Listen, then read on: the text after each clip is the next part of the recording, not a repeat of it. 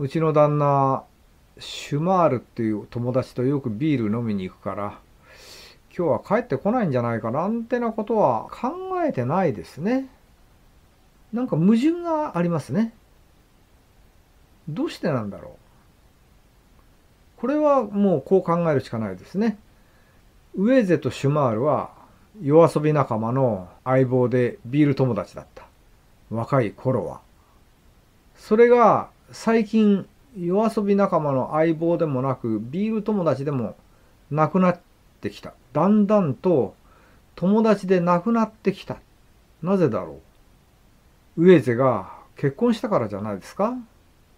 シュマールはなんかまだ独身なんでしょうね。結婚してからだんだんと付き合いが悪くなった。シュマールの方はいい遊び相手だと今でも思っている。それでどういう話をしたか。ビール飲んでていても30分ぐらいで昔は2時間ぐらい 飲んで、えー、騒いだりなんかしてたんだけども最近はですねビール飲んでも30分ぐらい経つとシュマールもう帰るよなんいいじゃねえかお前もっと飲めよなんて。最近お前付き合いが悪くなったんじゃねえかなんつってもいやうちに帰りますなんて言っちゃって。ユリアが待っているから。英語で言うと waits ジュリア英語の場合はジュリア is waiting ユリアが待っている。まあどっちでもいいんですけど現在形でも現在進行形でもいいですけどユリアが待ってるから帰るよなんて最近言うようになった。それを言われるとシュマールはだんだんとなんかカチンとくるようになった。ユリアが待ってるから帰るよ。ユリアが待ってるから帰るよ。って年中最近言うようになった。結婚してからだけど。こいつは俺の友達なんだけど、昔はよく俺の言うことに相づちを打った。我々プラハの都会人は酔い越しの銭は持たねえんだよなんて言うと「そうだそうだ」なんつって「一晩中飲み明かそうぜ」なんて言うと「そうしようそうしよう」なんて相づち打った。なんか自分の弟分みたいな気がしていたシュマールはベーゼのことを自分が兄貴分だと思ってた。なんとなくところがね最近はちょっと違う。なんかその引っかかってだからこれでユリアは待ちぼうけよ。う別人の役によればウェゼユリアが待っていても無駄だぞなんて訳してる人もいます。そういうことになっちゃった。次がまた面白いんだお前は今暗い地面に血を吸わしている。これわかりますわね。同じことなら血の詰まった風船玉であればよかった。そうすればどっかと乗っかればみるみるしぼんでいっただろう。まあこれカフカ独特の表現かもしれないけどお前は人間じゃなくて血の詰まった風船玉ならよかった。そうすれば何も待ち伏せしたりナイフで刺したりしなくても足で踏みつければ風船玉割れて血が全部出てお前は死んだはずだと、えー、まあ罵ってるだけの言葉ですで次が大事ですよ全てが思い通りになるわけでなく全て花の夢が咲き誇るというのでもないこれなんだろう？死んだウェーゼに向かって全てが思い通りになるわけでなくすべて花の夢が咲き誇るというのでもない。ウェーゼとシュマールがビールを飲みながら話している時。若い頃はバカな話をしたり遊ぶ話をしたり掛け事をする話したりなんかしてですねものすごく仲良かった。ところが最近はどうもその話が合わなくなってきちゃうウェーゼはどういうこと言うかっていうとねシュマール俺は最近ねつくづく思うんだけど人間やっぱり辛抱が肝心だと思うよ。人間辛抱だ。やっぱり真面目に働くっていうことが大切なんだな、えー、事務所でも俺は最近帳簿の付け方も勉強してまあ今で言えばパソコンも覚えてる。今で言えばですよ。それでちゃんと現金の管理なんかもしっかりやるように。昔いい加減にやってたことをちゃんとやるようになったらねあの事務所も経営がだんだん安定してきた。最近はあの貯金するようにしてるんだよ。貯金が貯まったらユリアと2人で外国旅行でも行こうなんて話してるんでこの調子だとあと3年か4年で花の夢が実現するはずなんだよ。なんででシュマールは何つったでしょう？シュマールはねおいおい。全てが思い通りになるなんてそら君真面目すぎるんじゃない君。よく考えてみろお前。この間飛行機事故で300人も死んだじゃねえかなまあその頃はそんな飛行機事故で300人も死なないけど今で言えば。お前と俺との共通の友達のフリッツってやつあれ。この間ガンで死んだじゃねえか。フリッツなんか真面目に生活してたけどガンで死んじゃったよ。人間は真面目に生活すれば成功するなんてそんなことはないよ。飛行機事故で死んだりガンで死んだりしてる人は現にたくさんいるじゃねえよ。ところがウエゼは何て言うでしょう。いやいやシュマール。そういう神を信じないような不真面目な生き方は君にとっても良くないよ。やっぱり神は存在するんだよ。あもうこんな時間か。30分も経っちゃった。なんて。ユリアが待ってるから帰るよ。なんて。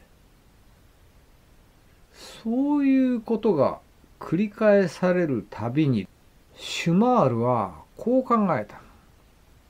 この信心深くて自分のことだけ考えていてほんで人間は努力すりゃ幸福になれるんだなんてことを信じているこの俺の若い頃からの友達になんとか人生というものはそんな簡単なことじゃないんだっていうことを教えてやりたい。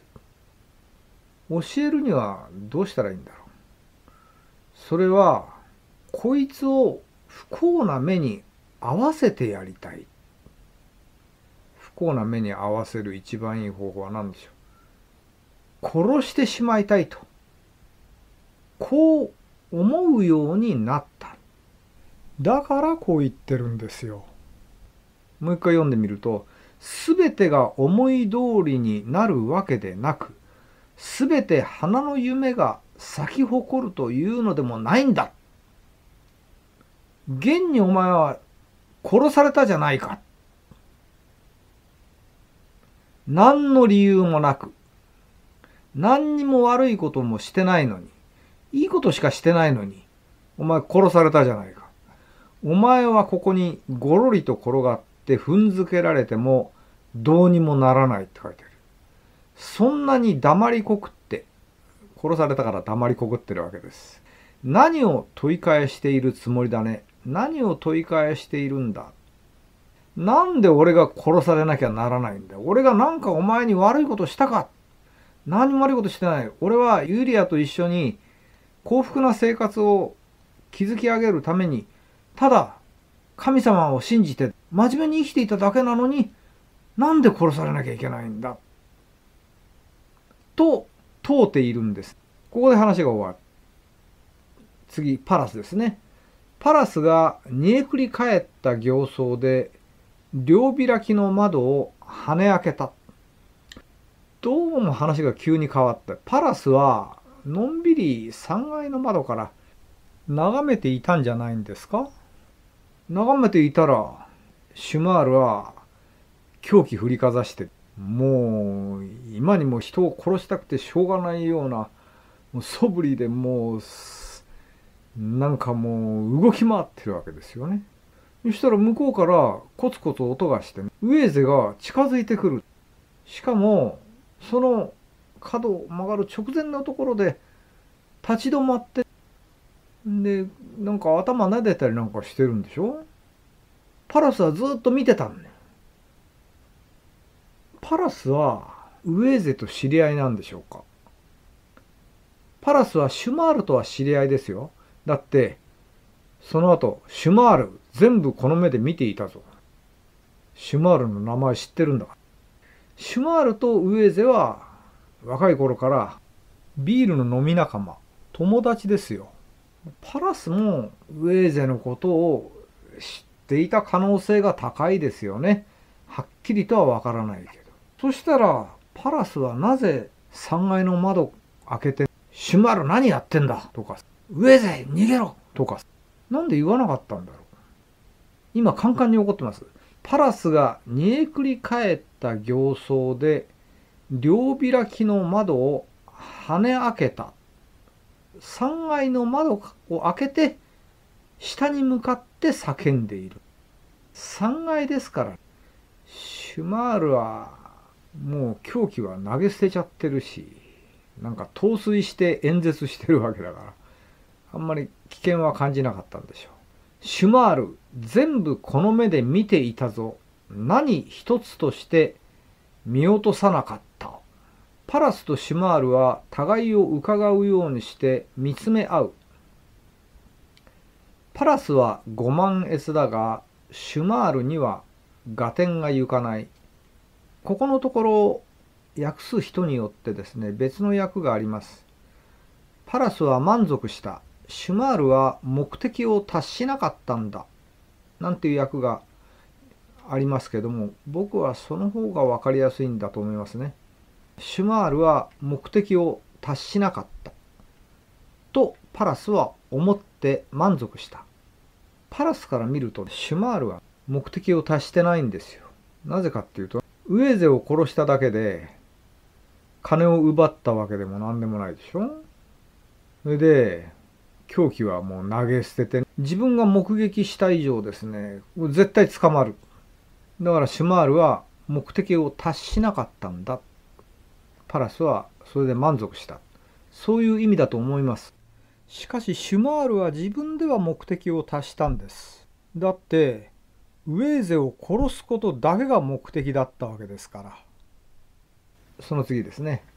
ベーゼ夫人が左右に野じ馬を従えて走ってくる。もうどんどん野じ馬が集まってくる。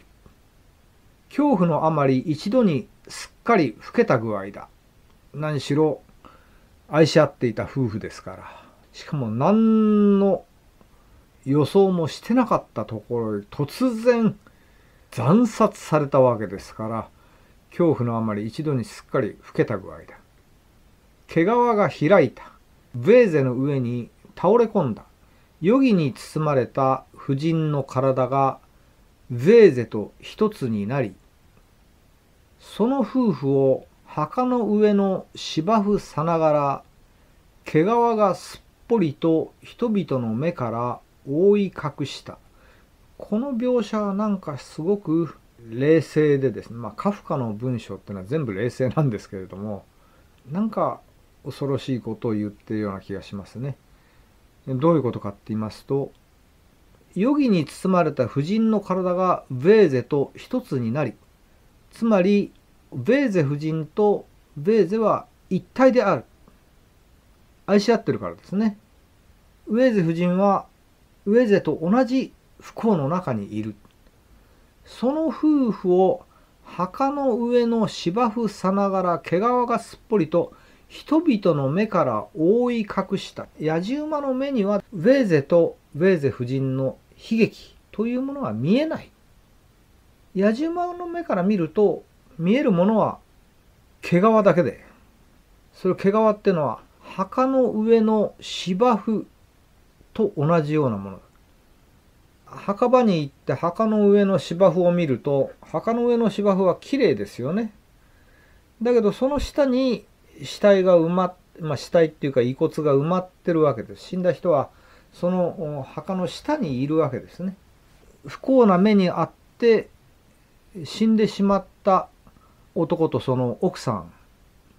その不幸は墓の上の芝生のような毛皮にすっぽりと覆われて野じ馬の目からは見えない野じ馬には無関係野じ馬に見えるものはシュマルとか流れている血だとかそこに放り出されてる凶器だとか警官がシュマールを捕まえる様子だとかシュマールが警官に捕まって引っ立てられていく様子だとかそういう事件しか見えない。他人の不幸は見えない。そういうことが言いたいんじゃないでしょうか。人間というのはそれほど隣人にとって冷たいものなのだということなのかもしれませんね。最後の2行はこれは単なる描写ですね。警官が下手人を引っ立ててゆく。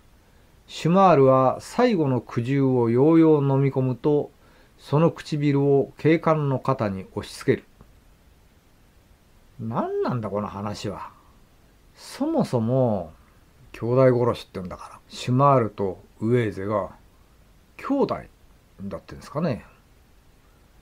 どこにそのシュマールとウェーゼが兄弟なんて書いてあるんですか。いやウェーゼよ夜遊び仲間の相棒ビール友達ってのは兄弟じゃないんじゃないですか。兄弟殺しという言葉を日本人に聞いてみますとまあ源頼朝が義経を殺したのは兄弟殺しだな言いますだけど欧米の人に兄弟殺しドイツ語ではブルーダー・モルトっていうんでそうですね。ブルーダーってのはブラザーモルトはマーダーだから兄弟を殺すこと。英語ではフラトリサイドっていうらしいですけど聞いてみると日本人よりも多くの人が知ってい旧約聖書のですね日本人でも知ってる人いますよもちろん。旧約聖書の創世記にカインとアベルの話が出てくるんですね。カインとアベルっていうのはアダムとイブの子供です。源頼朝と義経はお母さんが違いますけどもカインとアベルはアダムとイブの子供です。ですから人類の2代目ってことになります。え聖書によれば人類最初の人間がアダムとイブその子供がカインとアベル女の子生まれなかったんですねじゃあなんでカインは子孫を作ってで人間が増えたのかってまあそういう話は別ですけどもカインとアベルの話を読むと旧約聖書にこういうことが書いてあるわけです。旧約聖書の創世記4章重要なとこだけ読みますとアベルは羊を飼うものとなりカインは土を耕すものとなった。時を経てカインは土の実りを主のもとに捧げ物として持ってきた。アベルは羊の群れの中から肥えたウイゴを持ってきた。アベルの方がいいものを神様に捧げた。真面目だったっていうことが書いてあります。主はアベルとその捧げ物に目を止められたが、主つまり神様はアベルとその捧げ物を気に入ったがカインとその捧げ物には目を止められなかった。気に入らなかった。カインの方はですね。なぜかってあんまりいいものを持ってこなかったんじゃないですか。カインは激しく怒ってカインは神に認められなかったので激しく怒った。自分が不真面目だったんでしょうね。自分が不真面目だから神様に認めてもらえなかったんだけどそれ神様に対してまあ怒った。カインは激しく怒って顔を伏せた。神様殺すわけいかないからアベル殺しちゃったんですよね。アベルは別に何にもカインに対して悪いことしたわけじゃない。アベルは神様に信心深くて真面目に生きてただけなんだ。主はカインに言われた。どうして怒るのか、どうして顔を伏せるのか。もしお前が正しいのなら顔を上げられるはずではないか。正しくないなら罪は戸口で待ち伏せており、お前を求める。これ難しいんですけど、罪がお前を待ち伏せているぞ。お前は罪を犯すことになるぞとお前はそれを支配せねばならないお前はそれ自分でコントロールして何とかしないと大変なことになるぞというふうに警告したんですね。神様が警告したのにですねカインはその警告をまともに理解しなかったんですね。カインは弟アベルに言葉をかけ二人が野原に着いた時カインは弟アベルを襲って殺した。その後まだいろいろ話があるんですがつまり兄弟殺しというこのカフカの小説はカインとアベルの話の現代的パロディ神を信じて真面目に暮らしているウェーゼをシュマールが嫉妬して殺してしまったそういう話なんです。カフカはこの旧約聖書のカインとアベルの話に非常に深く共感したんでしょうね。人間というものは罪深いものである。そもそも旧約聖書によれば最初の人間であったアダムとイブも神様の言うことを聞かなかった。蛇に騙されて知恵の好みを食べてですね、えー、楽園にいられなくなっちゃった。追放されちゃった。まあ、この話はまた別の機会に話さなきゃなんない難しい話だけど。で、今度は2代目のカインとアベルは、兄貴が弟を殺しちまったんですよ。そうして、こういう旧約聖書に書かれている人間の本性というものはですね今でも現代でも受け継がれていて人間は全然変わっていないそういうふうに考えて現代の兄弟殺しを書いたんですね。だからこの話はアイン・ブルーダーモルトと書いてあってアインというのは不定冠詞なんですね。つまり正確に訳すとある兄弟殺しとある兄弟殺しそういうふうになってるわけです。ただ旧約聖書の話をただ直すだけじゃまあ不足だから。カフカはカフカなりの自分の人間に対する観察を付け加えた。一つは人間が偶然に支配された存在だ。ということです。本文に戻りますけれどもベーゼは殺される時に空を眺めたけれども何も不安を感じなかった。自分のこれからの恐ろしい運命に全く気がつかなかった。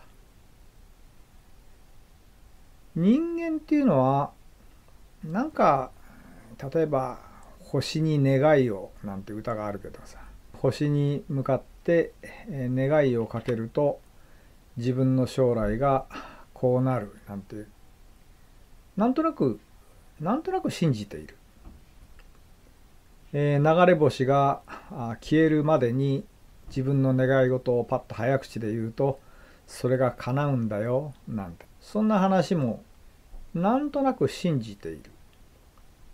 だけどよく考えるとそんなことはないんじゃないか。なぜそういうことを信じたがるんでしょうね。それはそういうことを信じていないと自分の人生とかそういうものが一瞬先にどうなるかは全くわからない。それを目の当たりに見て生きるということは恐ろしくてできないから何か予感今日はいいことがありそうだな今日は何か悪い予感がするとかなんかそういうふうに未来を察知できるというふうに錯覚しないと生きていけない。人間は神に守られているわけでも何でもない。何によっても守られていない。自然の中に人間の運命というのはただ投げ出されているだけで誰も人間を助けてくれたりするものはないんだ。